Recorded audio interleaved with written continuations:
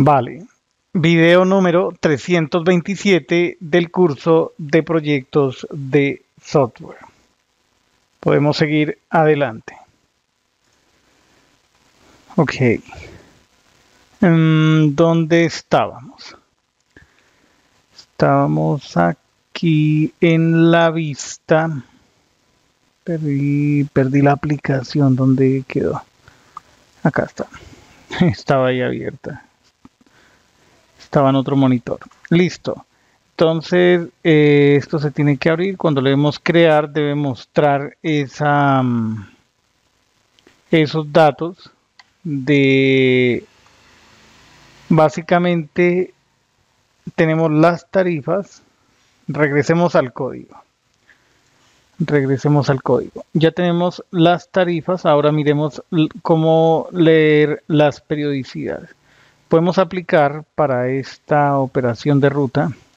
Haz lo mismo que pedí anteriormente, pero para este otro código que está seleccionado. Que nos dé la operación Ajax para llamar a esta operación de ruta. Ahí está generando el código, esperemos un segundo.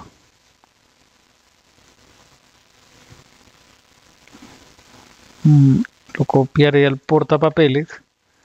Nos metemos a cliente, lo voy a pegar aquí. Ok.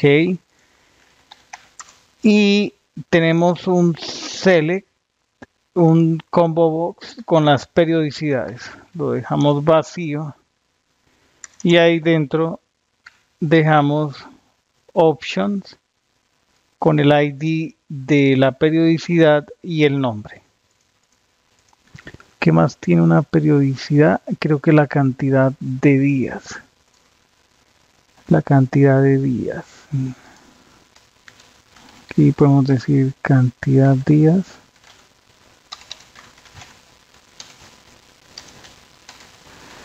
E punto días. Perfecto. Listo. Y, ta, ta, estos bueno esto es para crear sí para que se muestre en el listado de arrendamientos que aún no hemos leído esa información aquí se van a cargar los datos del modal de arrendamientos que es lo que hacemos en esta sección. Pero quiero validar algo por aquí en este bloque. Ok. Eh, no hay tarifas disponibles. Esto lo voy a copiar. Lo pego aquí. Y voy a indicar no hay eh, periodicidades disponibles debe crear al menos una periodicidad para poder continuar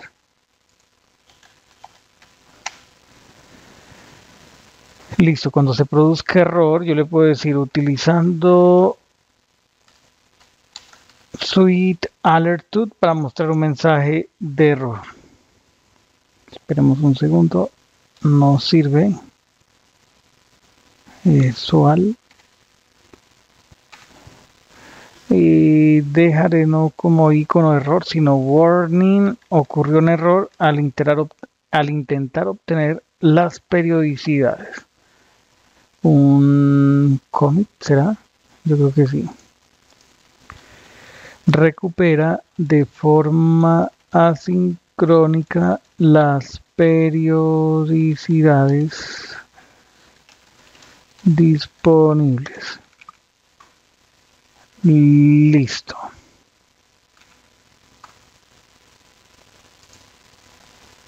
Ok.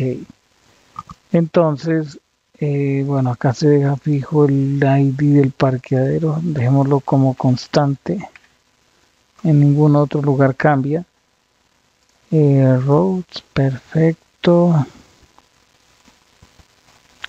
creo que el ID del parqueadero se puede obtener a ver eh, nosotros aquí en roads esta es una mejora antes de realizar esa mejora voy a escribir cuáles son los cambios, solamente eso. Entonces dejémoslo así. Eh, usuario. Mm, no, así no debe ser. Por aquí tiene que haber una variable que se llame current user. Creo que, a ver, current user.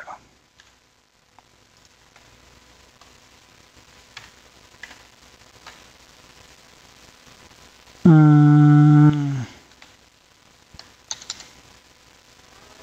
Y el parqueadero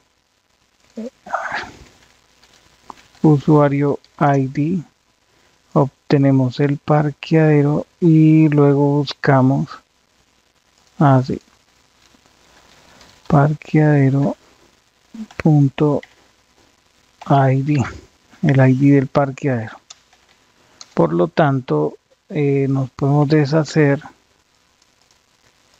de este parámetro dinámico no es necesario ¿por qué? porque lo podemos obtener de forma, podríamos decir, indirecta, sabiendo que es un usuario el que inicia sesión, ese usuario tiene un ID, con ese ID de usuario podemos consultar cuál es el dueño del parqueadero. ¿Sí? Bueno, eh, eso por un lado. Y en el aquí en cliente.html ya no es necesario esta variable. Ya no es necesario. E indicamos aquí lectura del ID del usuario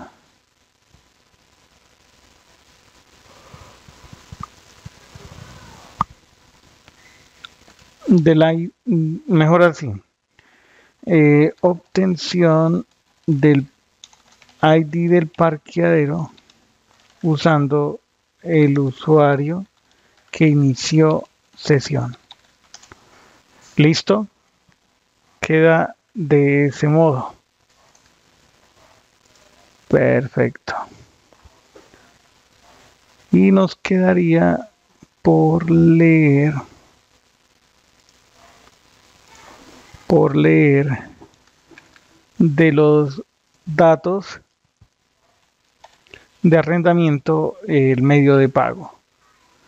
Mm, revisemos aquí en este archivo, en roads, una que diga medio pago. Este get devuelve es una plantilla. Este es el de crear, este es el de eliminar necesitamos que retorne puede ser aquí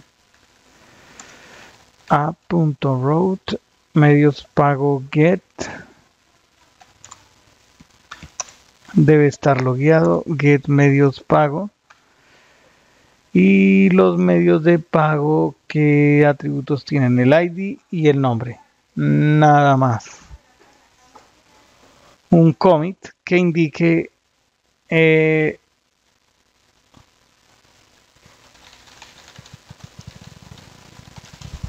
operación get para obtener los medios de pago disponibles de un parqueadero. Ok. Y aquí en cliente. Mm, tan, tan, tan.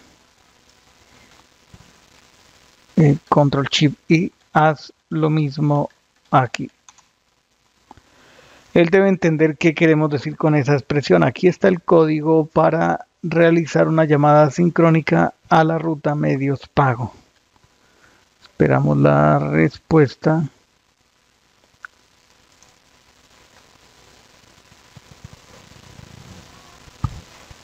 Copiaré este código, me dirijo aquí al código de mm, cliente, lo pegaré ahí y empiezo a adaptarlo. Voy a utilizar una constante en lugar de esa palabra clave BART, const. obtenemos el select con ese ID, lo dejamos vacío e iteramos.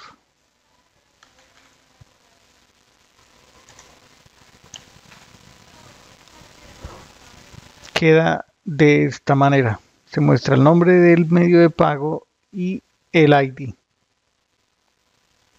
Si hay error obteniendo los datos, podríamos a ver, mostrar no hay medios de pago disponibles debe crear al menos un medio de pago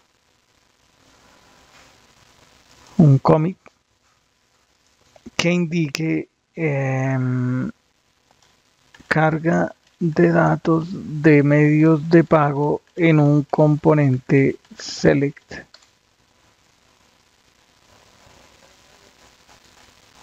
listo em, creo que dejaré hasta este punto y continuaremos en el siguiente video.